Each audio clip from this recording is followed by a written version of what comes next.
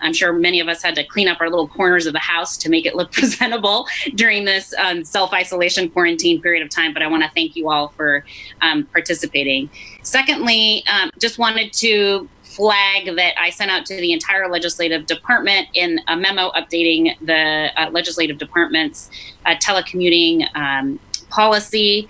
Uh, in that memo, it states that we will continue to telecommute through April 24th. That's a Friday. Of course, that date could either be extended. Um, I suspect it will not be shortened, but it will certainly could be extended beyond April 24th. I'll continue to work with our regional partners and with our um, uh, uh, executive department, et cetera, to sort of reevaluate that date as uh, time evolves and as more information comes around related to uh, COVID 19 and um, and uh, how we are doing in terms of flattening the curve.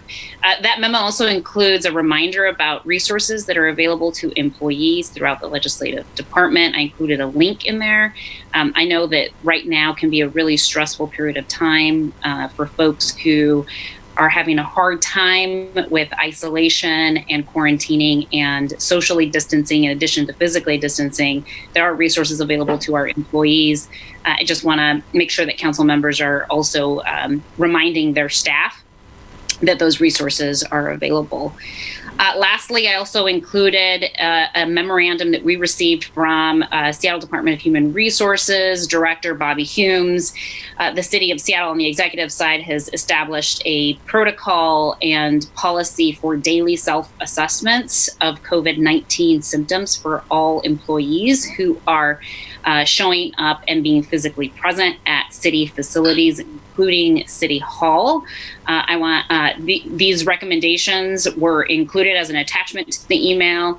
They are uh, voluntary, uh, but they are strongly recommended guidelines that our um, employees and visitors are being asked to uh, comply with, consistent with Washington State Department of Health uh, recommendations. Um, secondly, I wanted to give folks a quick quick update on some of the work my office is doing related to House Bill 6201. That's a bill that was passed by our state legislature on March 18th that requires and will require the city of Seattle and other uh, public uh, employers to provide additional paid sick leave and expanded paid family medical leave to employees for qualifying COVID related reasons. Uh, we are working with SDHR to finalize the policy uh, decisions and administration of those new leave requirements by the deadline, which is April 2nd of 2020. So once we have a better sense of what those uh, paid sick leave additional requirements will be for public employers like us, we'll go ahead and make sure to share those with um, the entire legislative department.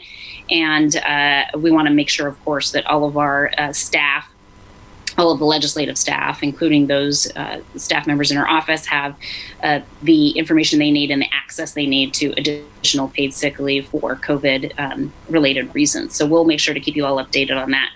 The the, the third and last thing I'll report on uh, related to the president's report um, is related to the introduction referral calendar and to um, a proclamation that we received from the governor's office related to uh, legislation um, that we can consider given the the uh, changes to the Open Public Meeting Act.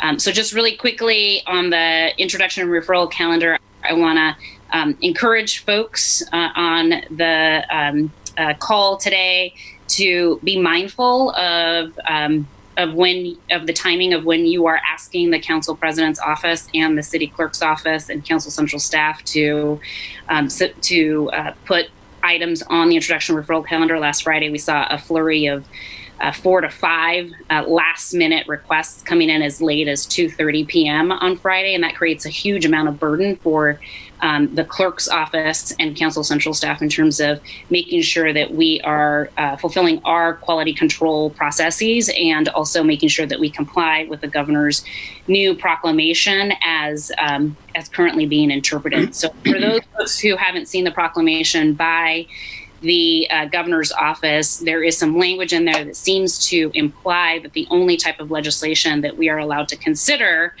um, currently uh, without, because we don't currently have public comment, is legislation that is routine and or related directly to the covid-19 emergency response. We are working with our law, law department to um, uh, get additional guidance and clarification from the attorney general's office uh, to make sure that we have a full and clear understanding of what the proclamation is. Obviously, it's going to make it very difficult for us as a city council to continue doing, uh, you know, basic services and uh, legislation required to deliver basic services if we um, aren't if we are so severely limited in terms of what legislation we can actually consider. So stay tuned for more information on that. But really, just want to remind folks that um, you know it takes the clerk's office about 48 hours to review legislation and to make sure that it's up to par with quality um, and to our professional standards. And so, just really want to make sure that you all are are um, uh, being conscientious of of uh, those. Uh, limitations and and restrictions on our legislative staff. So I know that this is um, uh, unique circumstances, and that sometimes um, sometimes there can be exceptions to this rule, but I'd really like for us to work hard to um, try to be proactive and to have enough advance notice as we are considering referring things to the introduction and referral calendar. So, um, and then the last thing that I will say is that I um, am really grateful to the governor's office uh, for reaching out to my office and to um, Council Member Claudia Balducci's office over at King County to institute a weekly call to provide us direct information and access to the governor's office to be able to get updates about uh, the state's emergency response and ways that we can uh, collaborate. I want to offer to all of you, as my colleagues, um, an opportunity to um, communicate directly with me and provide me with any sort of questions um, or concerns or issues that you want me to flag for the governor's office. Uh, we usually uh, meet at the end of the week either mm-hmm. a Thursday or Friday. So just want to provide that as an opportunity to um, all of my colleagues so that we can uh, coordinate um, that uh, type of information. So that is that is all for the council president's report. I'm happy to take any questions or hear any comments. Okay, hearing none we'll go ahead and um, start the presentation. So, um, President Gonzalez, I did I did have a comment. Oh, sure, Councilmember Sawant. Uh, I uh, in in in in the phone check-in that you and I did, I had emphasized that we we do need to mm-hmm. uh, make every effort for public comment, and I say this knowing that our staff, especially our tech staff, have been doing an incredible job. And I, I this is not. Uh, I just want to want them to know this is not a uh, not something that is directed at them, but at the council as a body that we have to try and get public comment in. Because even if it is um, it is legislation related to coronavirus, I think it is, uh, and, and especially so, I think it is important to have public input. And so I just wanted to register once again my sense of urgency to uh, to address that issue, especially you know to your point, we don't we, we've now extended this to April 24th, and as you said, uh, possible that it will be extended, very unlikely that it will be uh, um, cut short, you know, that and that will be coming back physically to City Council before then. So I just wanted to register that. Uh, thank you, Councilmember Sawant. I know that you and I had a really good conversation last week about this issue. Um, we it, in our office are working with still committed to trying to see if we can find some sort of technological way to um, allow the public to comment. So there's a a couple of layers. One is figuring out the interpretation of the governor's proclamation about what kind of legislation we can consider um, as a matter of course during the emergency response, and then secondly, um, it, you know, figuring out how to reintegrate public comment into that period. It's unclear to me whether um, uh, public comment via phone or video will um, allow us to consider any legislation that is not emergency response related based on some language that we're reading in the proclamation. But we um, we are we are actively looking for other examples of how uh, both here locally and abroad, people are addressing the public comment issue. So um, I know that the Port of Seattle has figured out how to, or they're testing ways to make sure that they can hear from the pub- public. Um, so we're looking at those examples and, and hoping to be able to uh, come up with some sort of resolution so that we can reintegrate public comment. Any other questions or comments from folks? Okay, um, why don't we go ahead? Did I hear? Sorry, from- Council President. Um, Councilmember Mosqueda, hi. Um, I just want to let you know I'm going to be on audio at about 10:20, and um, if I don't get a chance to do my audio, I mean my presentation before I uh, go into audio, um, perhaps uh, Councilmember Herbold, as my vice chair, could read my report if that's possible. Yep, that's fine. I know that several folks um, have to leave the call early. I know that the um, Office of Intergovernmental Affairs reached out to all of us last night with an offer to tour the new U.S. Army um, uh, field hospital at CenturyLink. Really grateful for the opportunity for us as uh, elected officials to be able to tour that facility. And I know that some of you all are going to have to get off the call to take advantage of that um, important opportunity to look at this uh, public health facility at CenturyLink. So appreciate that heads up, Councilor Mosqueda. All right, so let's, why don't we move into the third agenda item, which is the presentation of the condition of the West Seattle Bridge. Um, I believe we have our presenters online, which include uh, Sam Zimbabwe, who is the director of SDOT, Lorelei Williams, Matthew Donahue, and Adiam Emery, all with the Seattle Department of Transportation. So at this point, I'm going to hand it over and um, have the um, uh, department give us a presentation. Unless Council Member Peterson or Herbold, do you have some introductory remarks you want to make before the presentation starts? If, if I could, I just have a couple of um, of introductory remarks. I'll make it really quick go, please. Thank you. Um, I just want to thank um, SDOT for um, their uh, quick agreement to participate in this briefing. Um, as you can imagine, uh, constituents in District 1 we're really shocked at the short notice um, of the closure. There's universal support um, for the fastest action possible uh, for West Seattle. This is a second emergency layered upon the uh, COVID 19 emergency. Um, and I, for me, the key questions are how long is the upper bridge going to be usable? What can the council do to assist the quickest action possible? Um, whether or not that's funding or permitting assistance. We need to know how long it's going to take to complete the repairs. Um, and if we don't know now, when will we have an estimate? Um, and um, also getting a sense of how much work that SDOT is doing uh, right now. And I also want to thank um, thank SDOT for its quick response to the many um, requests for uh, traffic mitigation uh, traffic management mitigation measures and the work that they're already doing on putting in a temporary uh, stoplight um, at Highland Park and um, and Holden because so many so many of the cars are um, getting off of the um, the First Avenue Bridge and coming up the hill. So that, that's all I have for right now. Thank you, Councilmember Herbold. Uh, Councilmember Peterson is chair of the Transportation Utilities Committee. Are there any introductory remarks you'd like to make before we get started? Yes, I want to let everybody know I, I agree with what Councilmember Herbold is saying, very concerned about the West Seattle Bridge. And we are going to be putting on today's council agenda actually a resolution adding the West Seattle Bridge to our capital watch list because it's now become an urgent capital project. Want to make sure it's done thoroughly and quickly. And uh, we'll be setting up additional briefings to keep the public informed about what's going on not only with the West Seattle Bridge, but also with uh, key bridges throughout our city because it raises questions about the inspections and process for bridges throughout our city. Thank you. Thank you, uh, Councilmember Peterson. So I'm going to hand it over to Director Zimbabwe to go ahead and get the presentation started. And for those of you who um, are video conferencing in, there's a little button that you can mute yourself on. So if you're not actively um, speaking, I'd ask that you uh, mute yourself so that we don't hear any um, uh, ambient noise to interrupt the presentation. Thank you. All right. Uh, thank you, and and uh, thank you for this opportunity. I know this is a really challenging time for all of us in terms of having an open and, and transparent public dialogue about this really important issue.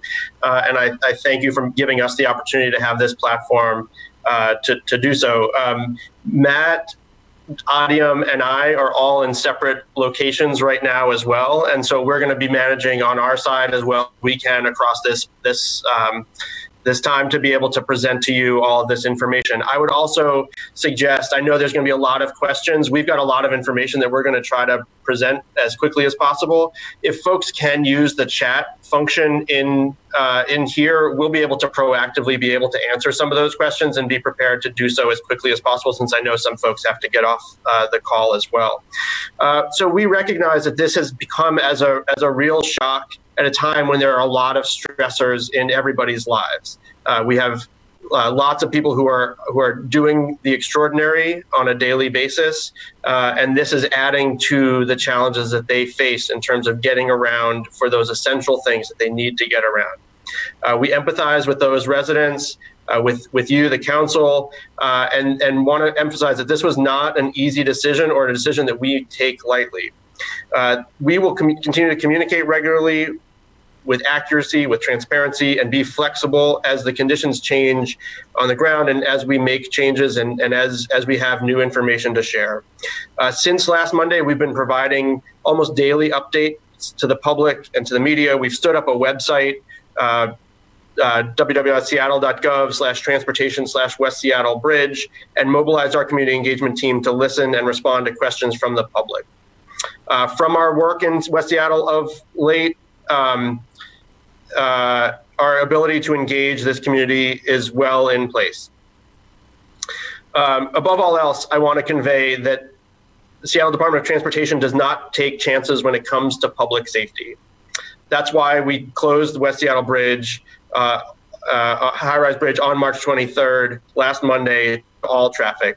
We hope today's discussion makes three things clear. First, and again, safety is our top priority, full stop. Second, the rapid announcement to close the high bridge uh, came as a result of our ongoing and close monitoring of the conditions of the bridge. We regularly inspect our bridges, uh, and since 2013, we've inspected our bridge, uh, West Seattle High Bridge, at least once a year and well above the every two years federal standard. You'll hear that the design life of the bridge uh, was intended for construction of construction to, uh, the construction for the bridge to last uh, for 75 years. Um, during the, the, added inspections over the last several years, there was no indication at, over the, the, course of that time that the bridge was unsafe for ordinary use and that remediation would affect the normal the, the normal use of that. The preventative maintenance that we've done over the past few years uh, did not indicate that there would be any change um, to the normal use of the bridge. Uh, Matt will talk a little bit more about what has changed and what's evolved over the last few months and and even a few weeks uh, to lead us to this this decision uh, that came on on all of us uh, very quickly, despite the diligence that we've shown in inspecting and maintaining uh, this bridge. Um, third, this issue is absolutely top of mind for me, a key priority of SDOT, for Mayor Durkin, uh, for all of us to work. And we'll talk a little bit more about what we've done already in the last week to put in place um, the, the, project team to be able to, to accomplish all of what we're talking about uh, very quickly. So um, you have the, you were, okay, so we're sharing this, the, the presentation. Uh, we're, we're going to go through um, uh, our, our uh, we're going to go through a, an, overview uh, very quickly uh, we want to emphasize that all of our infrastructure ages. Usually it does so in a predictable fashion that enables us to prepare for major maintenance or replacement uh, and set up project teams, communication, outreach to the public. And there are very few surprises. We have had some. We've had we have a lane closed on the Fourth Avenue Bridge uh, over Argo. Last late last year, WSDOT had to do emergency repairs on the Aurora Bridge that, that changed traffic patterns very quickly. Uh, when these infrastructure changes happen, when things, when when conditions warrant, we take swift and decisive action to maintain public safety. We know that often comes as a shock.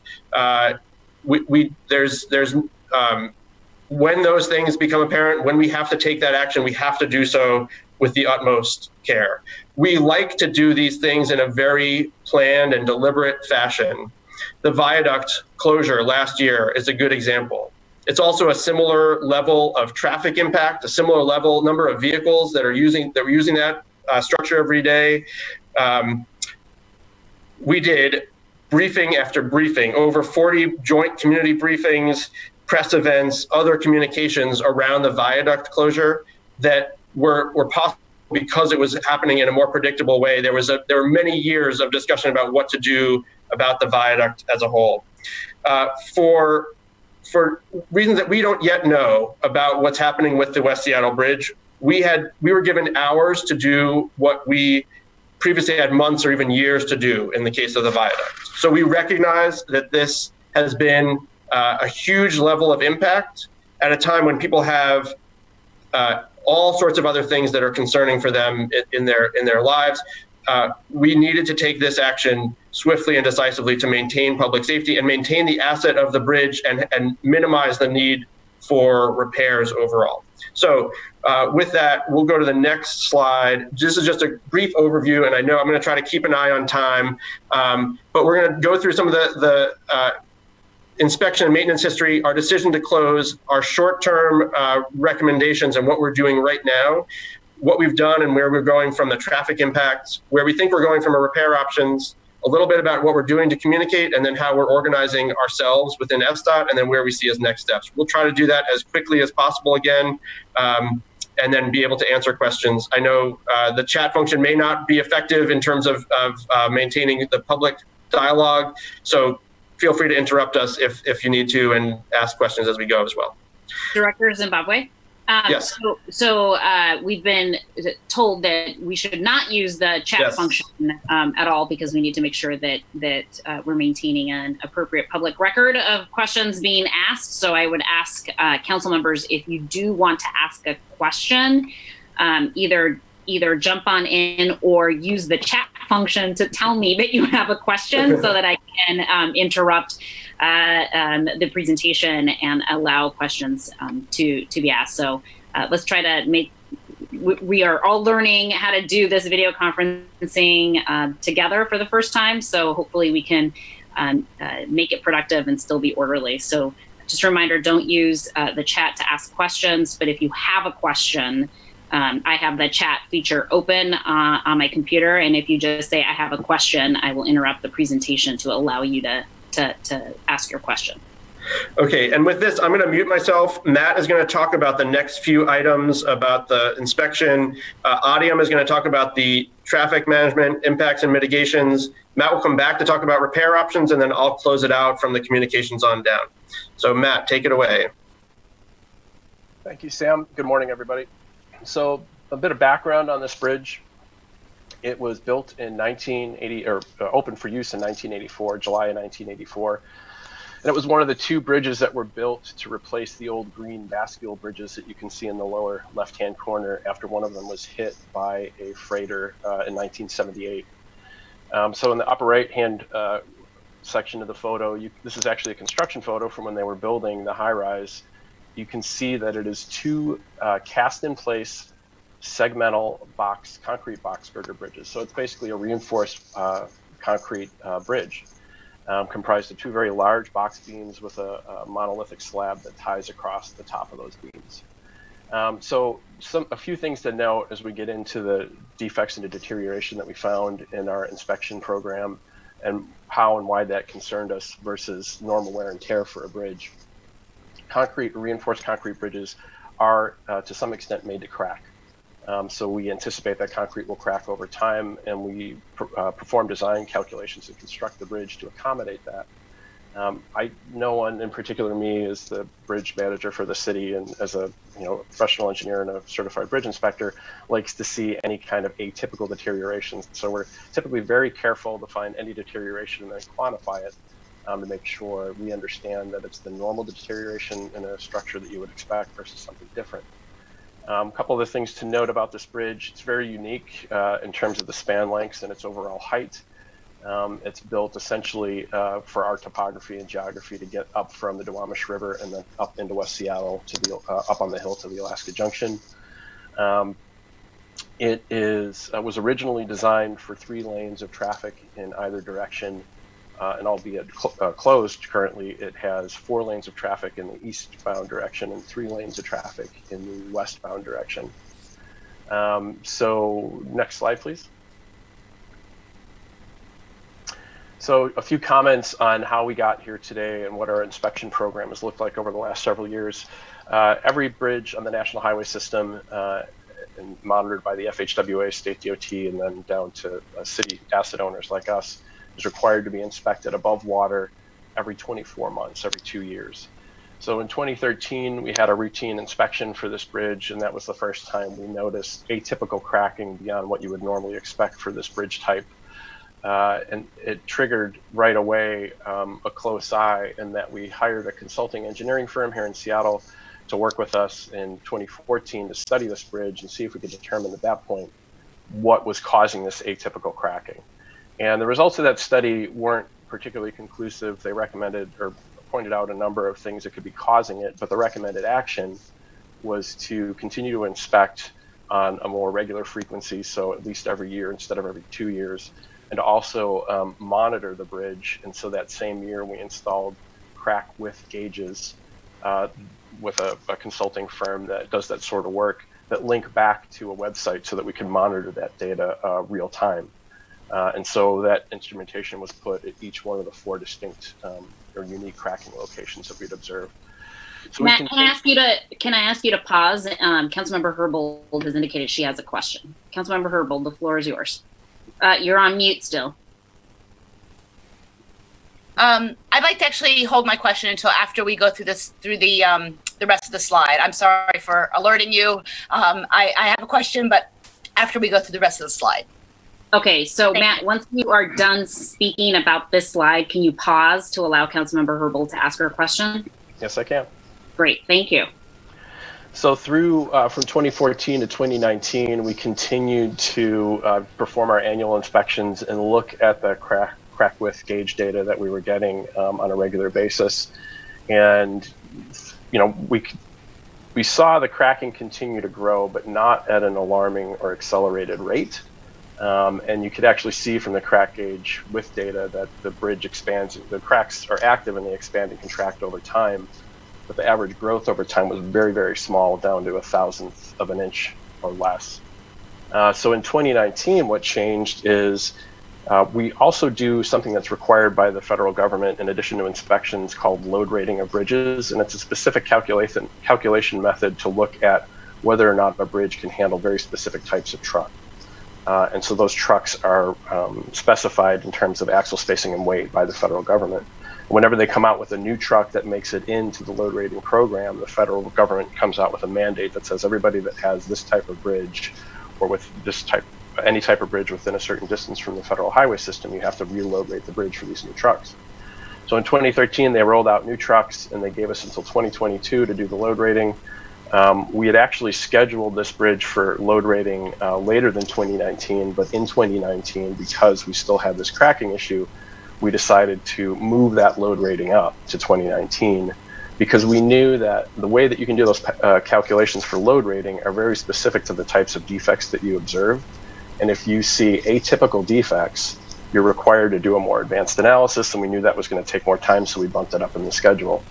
So two things happened. We had these two parallel lines. We're doing this advanced analysis and load rating starting in 2019 we're continuing to inspect the bridge just because we need to from uh, an inspection program standpoint, but we're also trying to gather more data to feed into the analysis so that we could really define these excuse me, crack sections and, and understand how to accurately analyze them.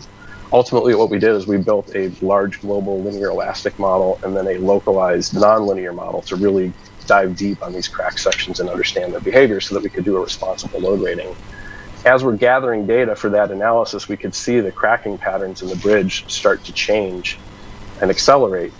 And so by late February, we had gotten to the point where our consultant partner that was working on this with us had recommended going down to two lanes in either direction. And as we were preparing to do that, planning how we would execute that from traffic control standpoint and outreach, and then preparing to alert, um, you know, the mayor's office and city council and everyone else that needs to know about this, as we were like the day we were having a briefing or just the day before i got a call from our consultant partner and they changed the recommendation from restricting down to two lanes to closure. Uh, and that was on march 19th So uh, I had a briefing with Sam and other leadership at the DOT on the 20th. We discussed the lane closures and this change in recommendation. And then I spent Friday evening and through the weekend going through and consuming all of that um, information or digesting it, and then made the call made the call to bring my engineering team and our consultant partner up onto the bridge at 9 a.m. on Monday morning. So that brings me to the next slide, uh, to the decision to close. This is what we saw when we got up there. Um, there's a couple okay, of hold things. on, hold on, Matt. Oh, hold on. Matt. Sorry. Matt, sorry Councilmember Herbold wants Thank to have you. a question answered now. I, I, I really appreciate it. Um, I just want to again raise the issue of notice to the public and, and transparency as really uh, being critical. Um, it's uh, I, I am of the opinion that is when we moved to uh, monthly inspections, um, that the public and the council should have been uh, notified. One really useful way uh, to do that, I believe, is through our uh, our uh, capital projects reports that come to the council. Um, there is actually a uh, a program uh, related, I believe, to um, the work that you've been doing. Um, there's a bridge load rating uh, CIP project. Um, it would have been really useful if um, in the uh, third quarter report last year, um, we had been notified because I, I the, again, the notification process uh, through those those quarterly reports uh, through project review um, is intended to notify the, the council of increased risk around uh, particular programs and projects. And this is not an as it relates specifically to the bridge load rating, it's not a specific project, but it is a program, and it's a program that you are doing for uh, a number of bridges. Um, but at the point at which you decided that um, you needed to um, uh, expedite the bridge load, load rating for the West Seattle Bridge and, and you moved to monthly inspections, I think it would have been a really uh, useful thing. Um, as I mentioned earlier, there's a uh, you know, a really a universal response of, of shock and in some cases uh, anger from constituents um, in in West Seattle about this. So, uh, in in keeping with our with our commitment to, to transparency and and no surprises uh, and and preparation, um, I would really appreciate. Um, the um, department to think about how to um, adjust its reporting um, so that we can uh, move towards uh, a culture of, again, no surprises. Thank you. Yeah, th- thanks, Councilman. I'll just jump in to respond. I, I think we, we all we all hear that and, and understand it. I think again, going back to what I said at the very beginning, it wasn't until very very recently that we thought that any of the repair uh, needed for the bridge would change any normal use, use daily traffic patterns on the bridge in terms of what it would take for repair. So I totally hear, uh, we all hear our, the concern, and and you know it. Um, are happy to figure out ways to to make sure we're communicating transparently. If we had started that reporting last fall, it wouldn't have said we think we might need to close the bridge because that wasn't something that we were planning for at that point. Thank you. So um, on this on this slide where it says October, November, December, begin analyzing mitigation options. Closing the bridge was not one of those options that you were considering at that time. Is that is that accurate? That's that's that's right. That's right. We were mitigation meant in terms of how do we mitigate the cracking, not what traffic mitigations need to be done. That's very helpful. Thank you. Um, just to follow up on that line of questioning, so if if we're looking at this slide, um, which is slide four, sort of, at what point in time was um, you know closure to traffic considered as a potential option that would be required to address the cracking? the first time that we received um, an indication from our uh, consultant teaming partner that they were going to recommend going down to two lanes in each direction was February 21st. So then February 21st was lane reduction under consideration that shows up here. And then, um, and we didn't receive notice until what last last week? That's that's right, and and I think when we got the initial, it was it was not an immediate. This needs to happen tomorrow uh, lane restriction, and we started to put together what would um, w- what it would take from a traffic mitigation, what that would start to look like from a traffic management plan uh, perspective, um, because the indication at that point was that this was something we had to seriously consider, uh, and and but that we didn't have to do that immediately, um, and. Uh, this was at the same time as, as everybody knows, this was at the same time as, as the department and the city has been responding to COVID-19 and putting a lot of different practices, uh, practices in, in, place and, and things like that, that, that were also consuming attention. That didn't stop our inspection procedures, but it did it did make it more difficult to have some of the uh, the the preparatory discussions, even for what lane lane restrictions would look like. So we uh, we we totally under, understand the frustration the concern about this, um, and and we'll seek to um, you know from here forward on this project and on on all projects, we seek to have that uh, dialogue as early as, as we think possible in in um, you know not unduly alarming the public, but also making sure we're we're open and accurate and transparent in our communications with you and, and the public as a whole. I think to Councilmember Herbold's point, um, you know, it, it, it was about three to four weeks before the city council um, found out that the lane reduction, in this case, full closure, was going to occur. And we found out just a few hours before the general public found out, and our constituents learned that they would no longer have access to the West Seattle Bridge. And so I think that over a period of three to four weeks, there could have been more proactive engagement, certainly of, at a minimum, the chair of the Transportation and Utilities Committee and um, the district representative for District 1. And so I'm, I'm, I'm disappointed that that proactive engagement did not occur and that um, and that it's it, it, took sort of this um, severe action for the department to um, acknowledge that moving forward it needs to engage city council members um, on issues of such significant import and so i, I, I really i want to um, I understand and appreciate that we're all under pressure, but we still have an obligation to uh, communicate with each other. And I think that that um, obligation is um, escalated and even more serious now and is a little harder to do, which means we have to be much more proactive in figuring out how to engage with each other. And I think all of the council members here, and I know Councilmember Herbold in particular, takes very serious the responsibility to be accountable to our constituents and to communicate transparently.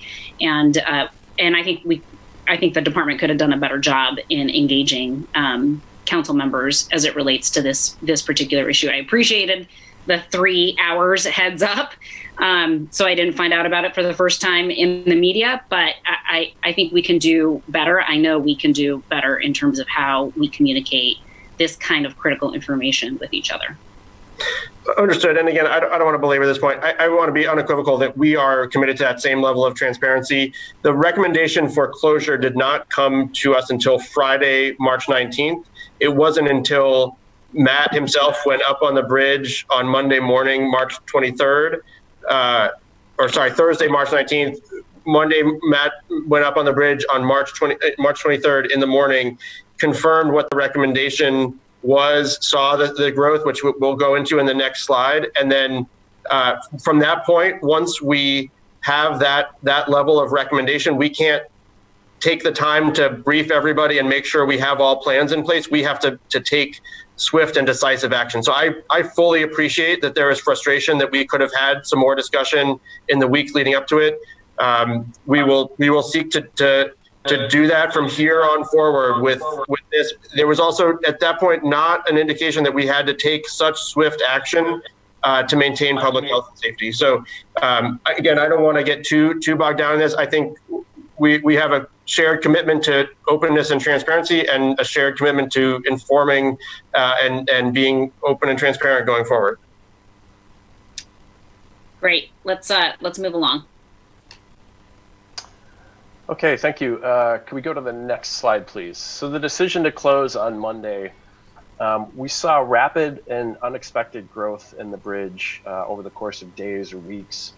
Um, and because public safety is the number one priority, and for myself as a certified bridge inspector with over 20 years of experience, if you look at the blue lines in that photo, um, you that is growth that occurred between the 5th of March, which was the earliest time in March that I was in the bridge, and the 23rd when we went out to see the bridge. That type of growth in a reinforced concrete concrete structure is completely unacceptable that's typically the type of growth you see over years, not over weeks and days. And so that drove me primarily as a bridge inspector and the bridge manager for the city to pick up the phone from inside the girder in the bridge and call Lorelei and my deputy director to alert Sam that we needed to close the bridge that day. Um, that that caused extreme concern with remaining leaving live load or vehicular live load on the bridge uh, of risk to public safety. So we have a graphic here that uh, shows that progression over months um, and then and then weeks towards the end of it.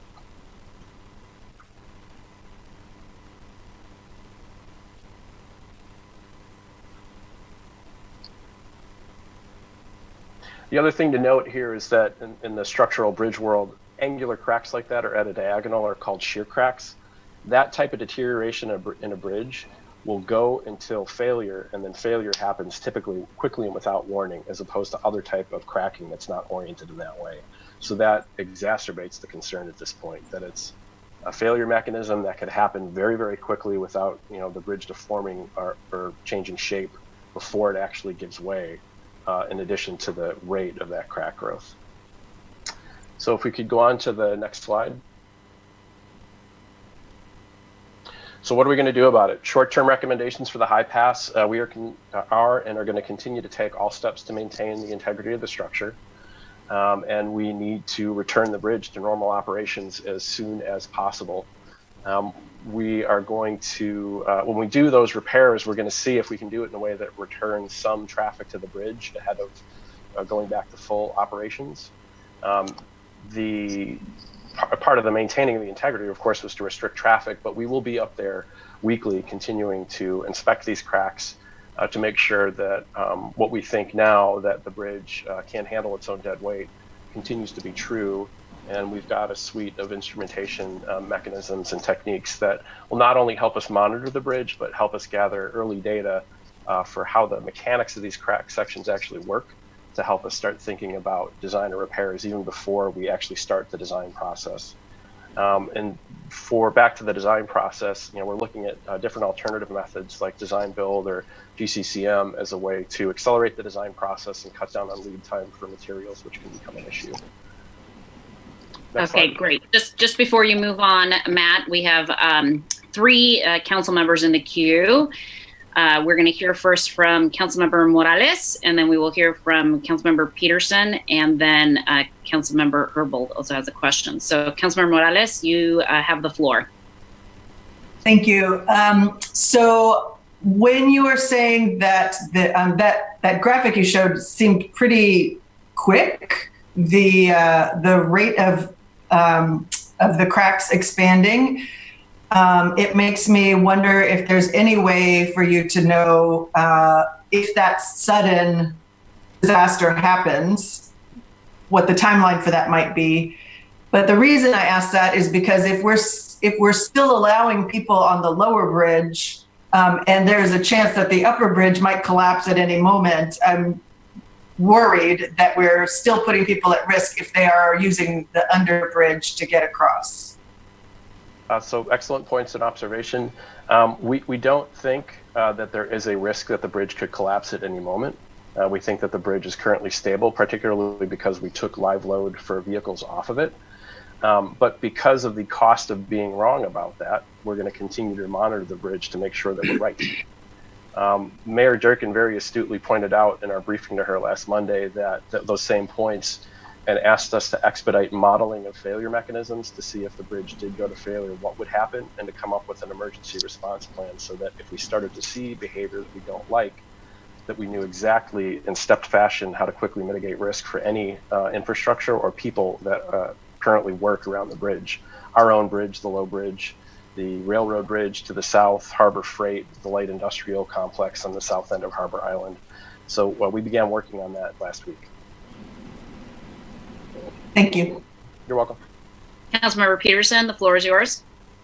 Thank you. Yes, I would like to echo the comments and concerns raised by Councilmember Herbold and Council President Gonzalez about notification. And to put a, a finer point on that, when there is a, a recommendation from an engineer for lane reductions, that we would like to have the immediate notification for that as well, so that it, we can have a rapid discussion on how to communicate to our constituents about that. Because lane closures are something that sound very serious, should, should be taken seriously and communicated with that level of seriousness to our constituents if we do need to close lanes on several of the bridges throughout the city. Thank you. Thank you, Councilmember Pedersen. Uh, we have Councilmember uh, Herbold, who also has a question. So, Councilmember Herbold, the floor is yours.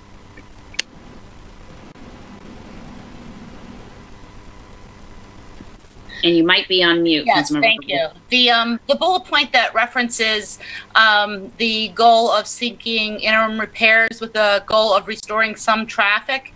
Um, are you suggesting that there might be a possibility of adding a lane back at some point before a more general reopening? That's correct. Um, we won't really be able to determine that until we get down into the weeds on the shoring design that has to happen first. But um, we are going to take that lens to see what we can return in a stepped fashion along the way to full operations. And um, related uh, to the to the following bullet point around accelerating major maintenance and repair to extend the bridge life, can you talk a little bit more? You'd mentioned um, design build approaches. Can you talk a little bit more about what what sort of options would allow you to um, uh, accelerate the the repair to uh, not only extend the bridge life but also to um, ad- address the need to uh, restore traffic as soon as possible? Sure. The, the classic method for delivering, um, say, a capital structural project is design, bid, build. So you go through the entire design process, then you put it out for bid, select a contractor, and build it. There are other ways to do that where you have the designer of record and a contractor or constructor of the repairs working hand in hand earlier in the process to cut down on difficulties um, in construction that weren't really realized in the design process. Yes, thank you. Um, I understood the um, that process. I was asking um, if there are other strategies beyond beyond that process because I, I, I, believe the design build um, contracting process is fairly fairly standard these days, and uh, I might be wrong on that, but it seems like this um, requires some uh, extraordinary out of the box uh, thinking to um, move this work forward as quickly as possible. So one of the things uh, to that point, one of the things that we're already trying to do is combine or really look at how we're doing monitoring for the safety of the bridge to combine that with gathering the stress and strain data um, and how the bridge currently carries its own weight um, as a way to get ahead of design. I mean, typically that's not something you would start until you just, you began the design official design process. We're already doing that now. Thank you. Um, I would just like to throw out that given um, the fact that um, we have 17,000 folks who travel the bridge via transit every day um, and another 100,000 uh, vehicles, um, that we should really look to see whether or not there are um, still additional strategies that we can consider. this is, like I, I mentioned earlier, truly an emergency for uh, uh, West Seattle commuters. Um, and I just would like to see whether or not there are um, extraordinary um, approaches that could be used to address these extraordinary circumstances. Yeah, and I'll, I'll just jump in. I, I think that there we're, we're, looking for any possible way to get uh, to to return bridge to normal operations as quickly as possible, to restore any amount of traffic as quickly as possible. We will not do that until it is safe to do so, and we will also not go out of step in terms of uh, making decisions that end up uh, putting us in a difficult position to, to do so safely and successfully. So I we, we are right there with you in terms of getting things done as quickly as possible and looking for all the possible ways to accelerate this process. We will be happy to have that conversation as we go forward. Uh, but I also want to be very clear that we're not going to make decisions that end up, you know, putting ourselves in financial risk and uh, risk of not being able to successfully make those repairs in the in, in trying to be expedient over being prudent.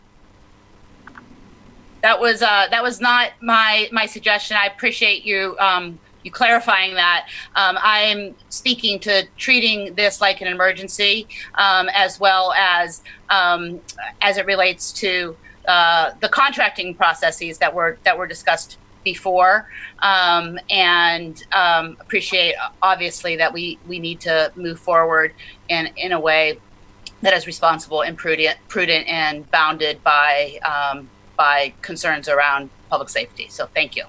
Absolutely, we share that. All right, let's go ahead and move along. Next slide, please.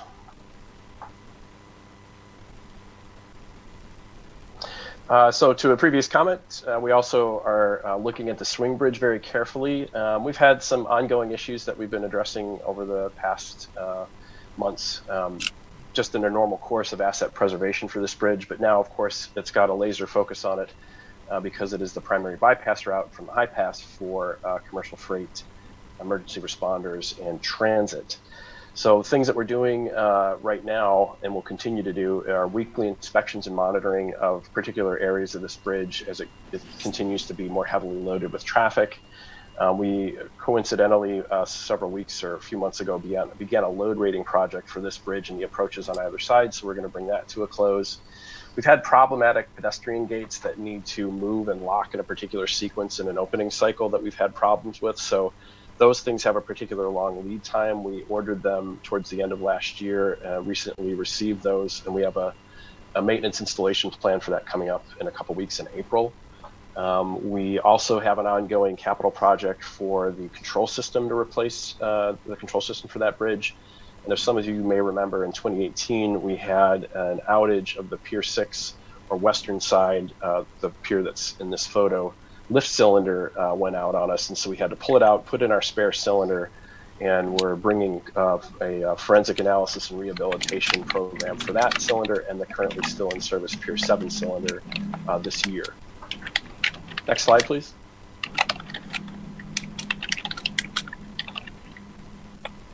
And with that, I'll turn it over to Adiam Emery uh, for the traffic management plan.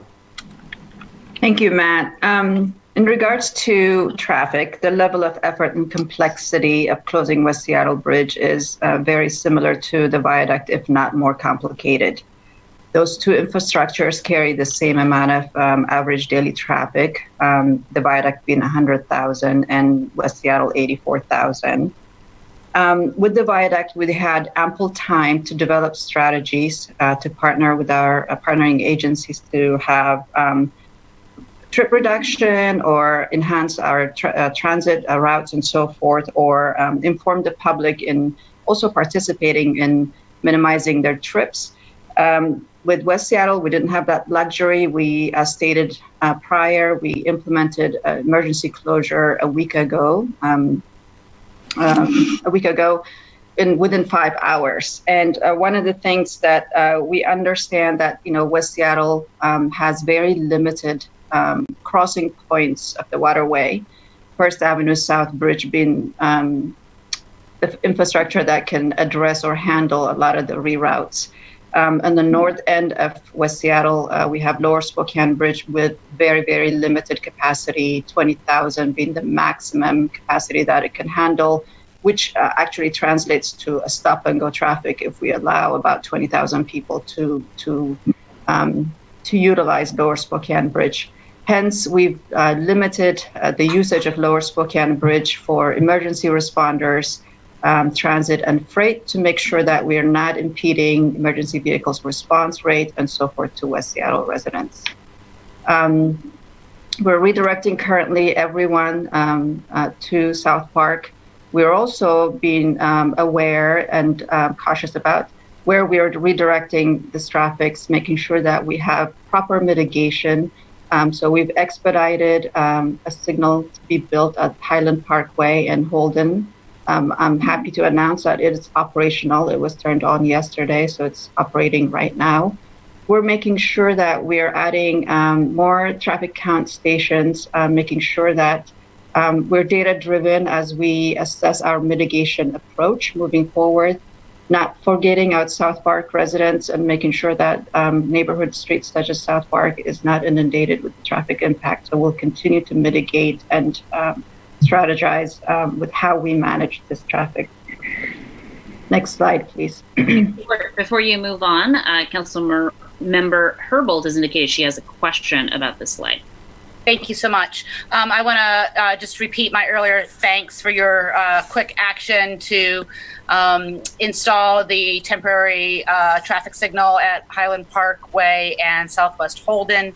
Um, as it relates specifically to um, uh, monitoring the traffic count, um, thank you for um, adding traffic count stations. I'm interested to know um, how frequently you will have reports on those um, on those traffic counts, and what your plan is to share that information with uh, particularly myself and. Uh, Transportation Chair Pedersen, um, and then uh, just because I, am really interested to to know um, as new traffic patterns develop, how quickly you might be able to consider um, adjusting access. Um, you've you've made a commitment that um, you um, are making those decisions on a data-based um, uh, approach, and I just I want to understand a little bit more with some uh, additional granularity how how frequently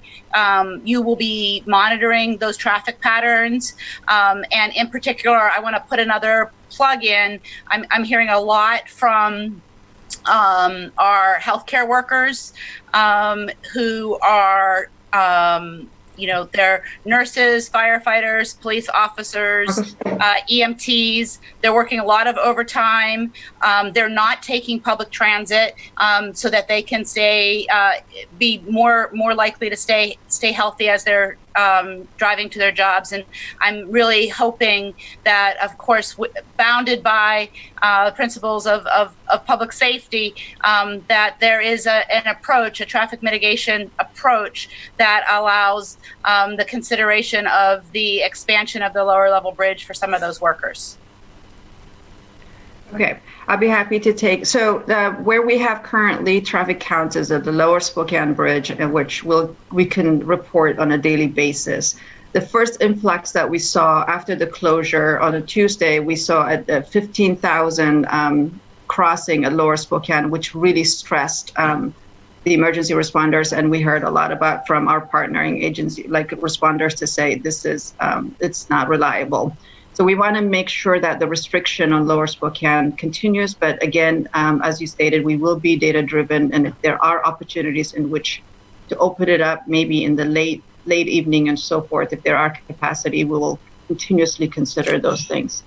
Um, the new added data points, once we have them in place, we'll be very happy to report out um, daily or weekly and in terms of analysis from engineering perspective, we're utilizing those data to um, tweak our signal timing, adjust other things continuously on a daily basis. Um, that being said, I want to kind of stress the level of the lower Spokane Bridge. Clearly, it's the closest to the north end of the West Seattle Bridge in terms of the waterway crossing, but keeping it um, available and, and uh, reliable for emergency responders, especially in the time that we're in, it's very, very essential. To, so I want to make sure that we place the restriction for the time in which um, we've restricted it for now. Um, we are keeping um, in mind, uh, keeping our vulnerable users, uh, pedestrians, and the bikes and transit in in, in, in, in mind as we help mitigate and adjust um, um, with all the um, routes where we are directing other traffic to go through. So it's a continuous uh, monitoring and adjustment takes place. Uh, I'll also just jump in there and say that the um, that that right now we're in an extraordinary traffic period too. You know, we've seen massive declines in the in in following the stay home, stay healthy order. Uh, people are, are following that and are not traveling in the way that that they uh, that they normally would. And so right now, our traffic we know our traffic levels are very different. Even with that, as Adiam said, when this when in the first couple of days of the closure, despite putting in restrictions uh, on the lower bridge, we saw uh, 15,000 people a day or 15,000 vehicles a day uh, using that bridge. And so, as if if and when when things come back to normal, let's say I'm optimistic that things will be back to normal hopefully soon. From a traffic perspective, we've got to be very careful about uh, not taxing our, our overstressing our infrastructure as well, knowing that there are these impacts. So we're gonna we are very committed again uh, to, to sharing and, and figuring out the best ways. During the VITA closure, we created dashboards where we were communicating very you know on an automated basis, basically what the what, what traffic impacts were. Um, we're very committed to, to doing the same things. This is this is unfortunately not going to be a short term issue that we have to deal with, and we're going to have to, to figure out ways to share information and adapt as we go forward. That's right. Next slide, please.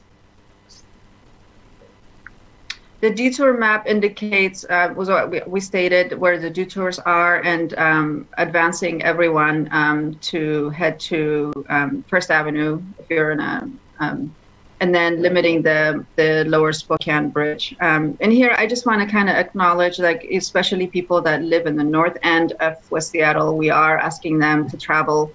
We're adding five more miles to their travel time to uh, get back into 99 via First Avenue South, and we recognize that's um, it could be a challenge for some, but. I think, you know, as Sam stated, uh, when we go back to normal, um, this has uh, a special request in which like number of trips need to be reduced in order to mitigate this impact that we're seeing. Um, right now, um, with regional, you know, volume reduction, uh, we're not seeing that many impacts, but um, just the level of, you know, um, traffic that we're moving on West Seattle Bridge um, on a daily basis, 84,000. Um, it, it, it, it's going to require a lot of strategies and so forth, and to reduce the number of personal trips that we're making uh, moving forward. So next slide, please. This is just kind of reiterating what Sam indicated. Um, we do have, uh, we're planning uh, what the strategies will be as we get back into normal traffic pattern. We do have a task force set for um, King County Metro and the port to strategize and how we handle this um, um impact that has been um, introduced to our network um, uh, and exactly the same level of effort that we've seen in the viaduct. That's the type of level that we anticipate to to implement moving forward. Um, now I'm going to pass it on to Matt. Thanks, Adiam. So repair options, what are we going to do to get this bridge back into service? Uh, first, we need to put in temporary shoring to preserve the structure. Um, and that's primarily uh, to make it safe for a contractor to be on the bridge to do more extensive repairs. Uh, the approach to those repairs, at this point, we think it's likely going to be uh, carbon fiber wrapping uh, with additional reinforcement at key connections. Uh, carbon fiber wrapping is it's a, a, woven carbon fiber mesh that's a fabric that you can lay up onto the bridge and anchor down, and then you coat it with a type of epoxy. And when that hardens up, it forms a shell um, that uh, additionally reinforces or provides more integrity to the bridge. Uh, we'll likely combine that with um, there is post-tensioning strand or steel strand embedded in the concrete uh, that was tightened up as part of the original construction and then locked down. We can still use that technique to put additional post-tensioning strand either inside the hollow part of the girders or on the outside if necessary, depending on how the mechanics of those crack sections ultimately work out. Um, well, as I mentioned before, we're going to look at alternative uh, delivery methods we also need to be really uh, careful in our design to see if we can do it in such a way that it doesn't impact the box that's around, theoretical box that's around the federal uh, navigation channel beneath the bridge in the Duwamish. So if you cross into the plane of the horizontal limits of that uh, navigation channel, or if you change the clearance of the bridge, it triggers a federal permit through the Coast Guard uh, that could add significant time to critical path if we can't stay outside of that box. And I think with the next slide is uh, back over to Sam to talk about communications. Sure. sure. So um, just trying to wrap up here as well. Uh, and thanks everybody for their time on this. Uh, so we, we're, we're going to, we've already talked about our commitment to openness and transparency. We've stood up a website. Uh, we're continuing to share uh, this information. We're, we have an ongoing partnership with Department of Neighborhoods to connect with community and open those feedback channels so that we can problem solve in, in real time with people uh, and then um, make sure that we keep everybody up to date as, as new information is available as we have sort of a, a regular rhythm of, uh, of, of information to share and as we hit, come up upon uh, major milestones. I see that Councilmember Herbold has a question here, so I can hold. Councilmember Herbold, you're You on, mute.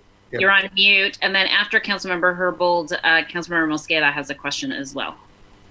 Thank you. Um, so as it relates to communications, I think uh, part of communications also includes uh, making sure that the public understands what the uh, enforcement practices are. So um, if you could just speak to how um, we are planning to enforce the um, the uh, restriction of the lower level bridge to uh, to freight, transit, and um, and first responders um, and other uh, populations of, of drivers as, as um, those restrictions are considered for relaxation.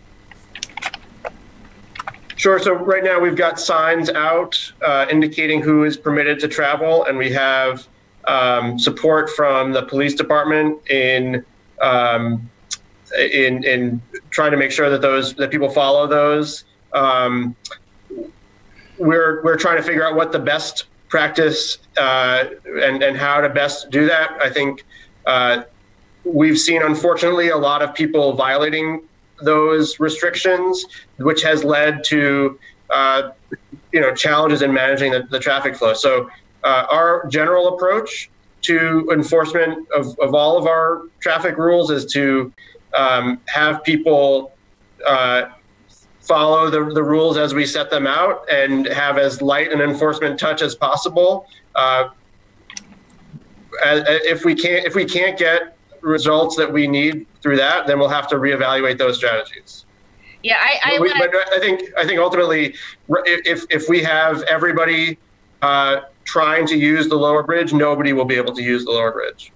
Right, and as you note, um, I think uh, a lot of folks um, are continuing to use the lower lower level bridge. So this is um, an area that I'd like to have some um, continuing conversation um, with you about. Um, you know, I obviously am speaking on on one hand to the to the interest i of using the lower level bridge uh, for uh, more uh, commuters as is safe um, in the future, but I also have real concerns about the extent to which it's being used now um, in conflict with the current um, the the current restrictions.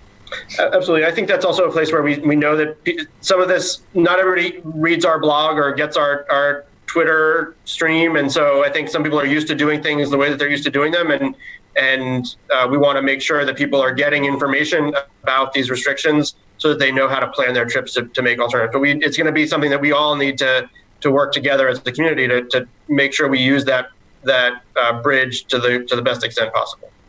Thank you.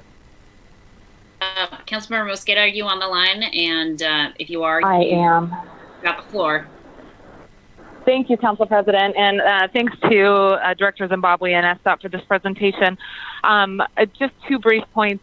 One, I just biked into the um, CenturyLink field for this tour, and I'll have to um, leave it to your team to assess the current situation this morning. But I just want to echo the concerns around first responders being stuck in traffic right now and people clearly using that as a shortcut. Um, I hope that some of them are um, medical providers, but uh, it does appear that there's a number of people who are not first responders and not in um, co- commercial um, transit mobiles that would be clogging up the lower bridge and just want to flag that for you. I also echo Councilmember Herbold's point that it'd be a desire to make sure that that is also a viable um, traffic pathway for not just um, healthcare providers, but also those who are human service providers, people providing assistance uh, to our homeless population and to those in permanent supportive housing.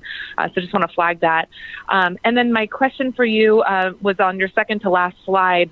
You mentioned uh, the way in which we're going to um, try to adhere um, to a quick response of and a long-term response. In our quick response, can you speak to the safety of the workers? What are precautions that we're going to put into place so that we can make sure that yes, the bridge is a safety hazard if not fixed, but how are we going to keep our workers protected from COVID exposure?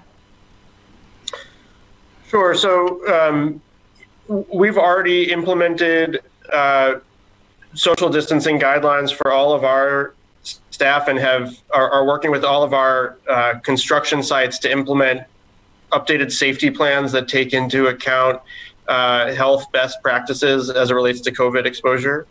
Um, as Matt said, uh, the the you know some of the way that the bridge is built, the hollow uh, nature of the bridge is a pretty tight and enclosed space, and so as we look look to uh, even installing the the shoring, we'll need to make sure that we have the ability to to keep uh, keep the workforce safe that is doing this essential work to get the, the bridge uh, reopened. So none of this is made easier by the public health emergency in which we find ourselves. Um, and uh, we need to keep all of those those issues front and center as we uh, work on some of these critical infrastructure projects.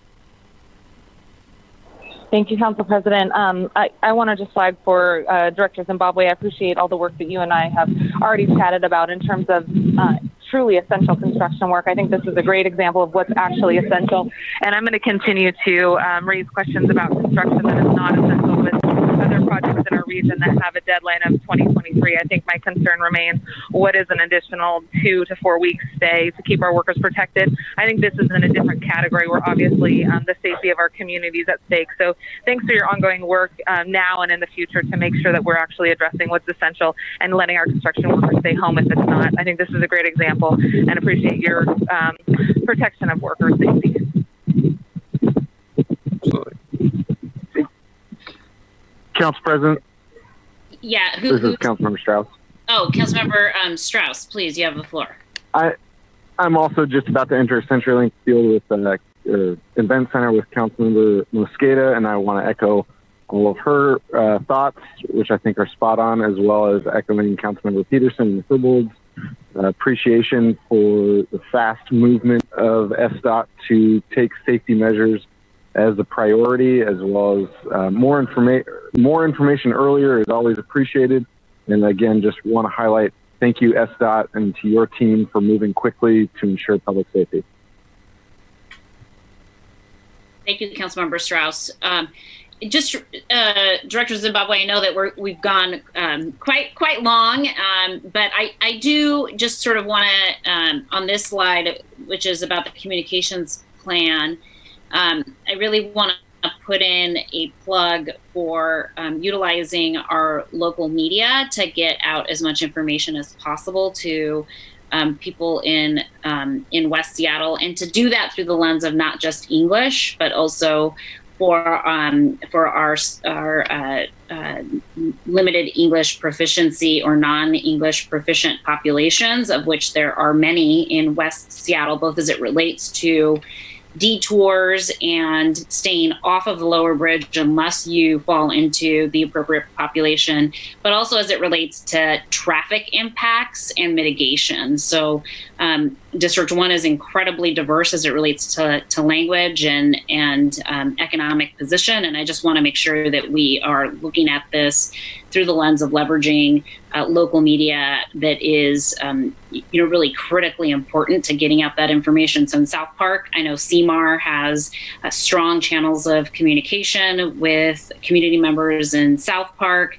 Um, and uh, and for for West Seattle, a lot of folks uh, follow the West Seattle blog. So I'm going to put in a little plug for our friends over at uh, the West Seattle blog to make sure that that SDOT is working very closely with them and others uh, throughout District One to make sure that that folks really understand what um, what uh, what's at stake here, and, um, and, particularly as it relates to why it's important to um, not just shortcut through the lower um, bridge and and people need to really understand what's at stake if if they're not following um, following the the restrictions as as outlined by by the city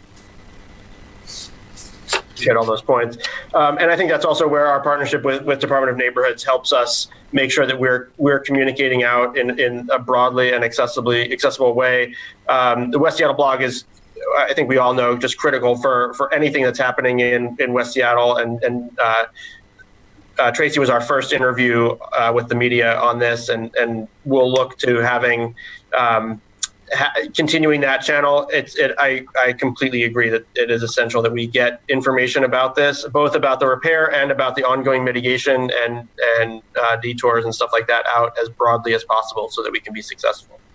Um, our last slide, and, and I know we've had a lot of this dialogue along the way, but uh, really just about how um, how uh, we are structuring ourselves very quickly to tackle this. This is not something that falls within one, you know, one uh, work group within SDOT. It's really touching all of us very quickly.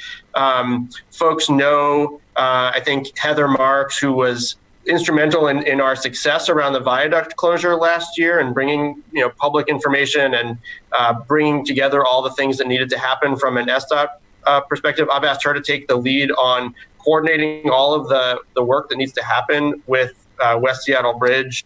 Um, Matt, as you, who you've heard from, is, is leading on the structural uh, aspects. Adiam, who you've heard from, is leading on the traffic management aspects. Uh, Dan Anderson, who's been um, leading a lot of our communication on the Delridge multimodal corridor, uh, Delridge uh, rapid ride in, investments, um, and so no, has a lot of uh, ties and knowledge with with community is is leading on our public information, um, and Emily Reardon, who's uh, our deputy chief of staff, has been, is our agency liaison, uh, working with other agencies and bringing other people together very quickly. Uh, for you all on the council, uh, Shauna Larson, our council liaison, is also an, an, invaluable resource for you in terms of channeling uh, questions or, or requests uh, through Shauna. She's tied in with this team as well. Um, and then it, it, this is this is really just a, a, critical. We all know this is a critical piece of work uh, that uh, is is where we've rapidly stood up this team uh, within the the context of our uh, public health response right now, our COVID response, tied into all the emergency response that we're doing there. Uh, but then this will this will sort of live on as a structure that, that will guide us through this this whole process. So uh, I just want to reinforce again that we are taking this incredibly incredibly seriously and and um, working to organize ourselves to be successful in, in uh, delivering um, on on restoring the bridge. Uh, thank you so much, Director Zimbabwe, and to all the staff over at SDOT for joining us in short order to um, uh, do this presentation. Uh, before we uh, conclude, I know that um, uh, Councilmember Herbold has um, um, another question about uh, next steps. Um, and so I'm going to go ahead and hand it over to her, and uh, she might actually be gearing up to ask the question that I was thinking about. So I'm not going to. I'm not gonna. I'm not gonna um, ask my question until I hear what Councilmember Herbold has to say. Please, Councilmember Herbold, the floor is yours. Thank you so much, Council President. Um, so since uh, we are, I think, oh, great, the next step slides up. So as it relates specifically to um, to, to our next steps and um, to both the near term and um, the long term repairs, it would be really helpful to know um, how it is you intend to fund the short term repairs um, as soon as possible, um, what SDOT can do to um, uh, address or identify which projects they can no longer afford to do so we can make these funds available. And whether or not council action is uh, needed I, I, am assuming it would to authorize some shifting some resources. And when will, when will we have more of a picture on that? Yeah so those are those are all good questions. Um, yes there will be uh, budget impacts on the whole of the SDOT program in terms of um, taking taking these steps. And I think those will be those will be discussions that we need to have. Um, uh, those likely we, we need to get a little bit of a better handle on what exactly the repair and uh, the, the, sort of shoring and then repair options are. Uh, we expect that'll happen over the next few weeks and can have some more of that discussion. This is at the same time as we all know and recognize. I think um, uh, CBO Director uh, Ben Noble has been very clear about some of the, the challenges we're facing as a city in response to uh, in the economic response to, to COVID-19 as well. So um, I think there's a there's a lot that will be coming around the the, the budget and um, how this fits into all of that, and it'll be a, it'll be a dialogue that we will need to have. So I, I don't know have exact timing on that, but recognize that it will have to be uh, a, a, key. Uh, uh, something that, that we engage on. The last, I just want to also last year, um, you know, beyond where we are right now in terms of shoring and then repair, we also recognize that there's a need to start talking about what the long term is beyond even repair and and have a, similar to what we've been doing on the Ballard Bridge recently and, and other bridges where we have a little bit more uh, lead time on these types of discussions of having a real uh, in-depth, robust discussion of, of what our options are uh, beyond beyond sort of the, the immediate near term situation that we, we find ourselves in right now. So that's something that, that will come. That's not our immediate priority right now, but it's something that we need to start uh, doing as soon as we as soon as we possibly can as well. Great, thank you so much. And then in terms of uh, the next steps here, something that I um, still am missing in terms of the piece of information and would appreciate um, knowing what the department is thinking around this is sort of um, uh, timelines around some of those short-term solutions that you identified, and of course the long-term solutions. And can you give us a sense of when, you know, sort of the timeline of implementation or uh, processing related to to those two different sets of uh, solutions identified in the previous slides? Yeah, I, am I'm, I'm still, uh, you know, this is this has obviously taken us um, a little bit. You know, this is this accelerated faster than than we thought it would, and so I, I don't right now have a, a as much as information as I would like to have and be be talking about with you in terms of some of those things. Um, the and, and I think some of that will go hand in hand with what the budgetary impacts might be of either either the short or the long term, like this, the the immediate and the the sort of midterm repair options. I I do know that it's, it's not unfortunately it's not going to be a short duration, uh, and I don't want to give the impression that this is something that we are going to handle uh, within the next few weeks or something like that. Um, we are working to do it as quickly as possible and to do all the things that we need to do.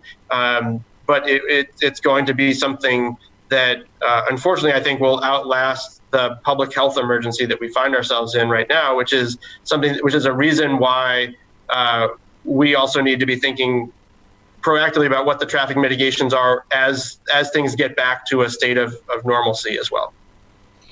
So, Director Zimbabwe, as you sit here today, you and your staff can't give the City Council um, any sort of sense of a timeline as it relates to the short term goals and the long term goals of repair?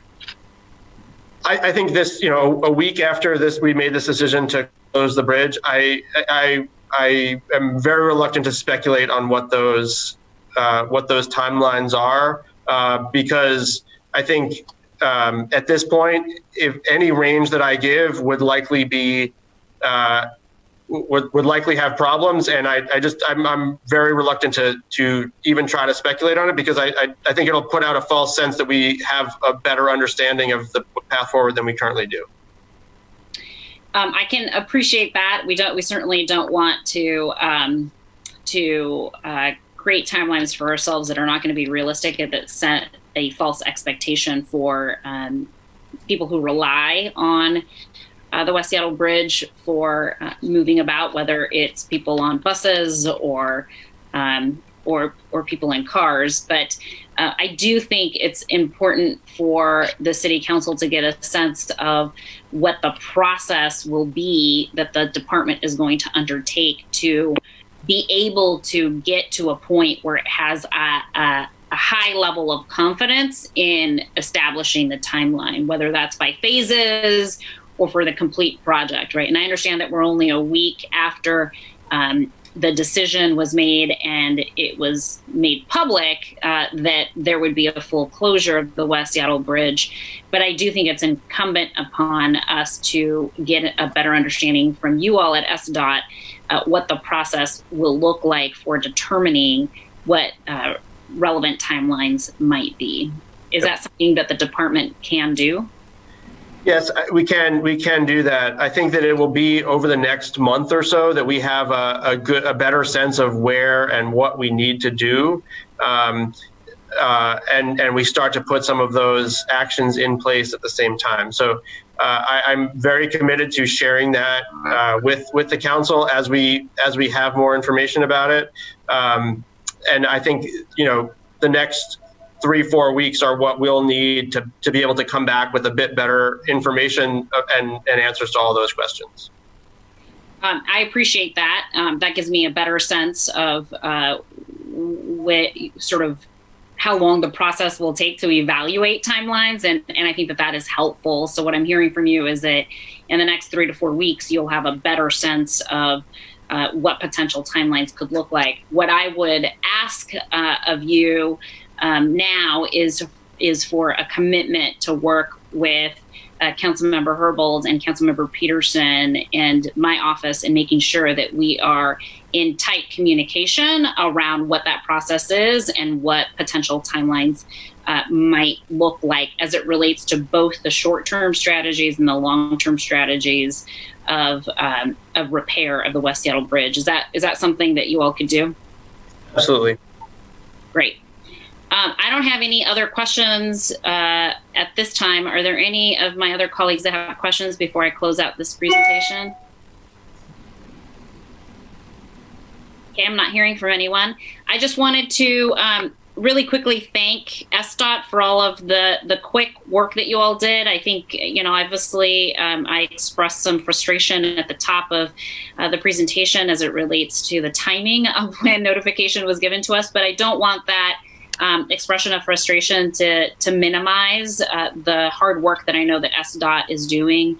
I want to especially thank Matt for um, for his quick work in recognizing that um, this was a, a, serious public safety issue uh, for the people of um, of Seattle, and uh, I can only imagine um, sort of how uh, significant it was for Matt to undertake that that that decision uh, and to see what what you saw in that moment with your own eyes uh, to be able to make that call and to do it quickly for the best interests of uh, all users of the West Seattle Bridge. I really just want to thank you, uh, Matt, for um, for making that tough call and for doing the work that was necessary to make sure that we, as a city, acted quickly to preserve life and safety.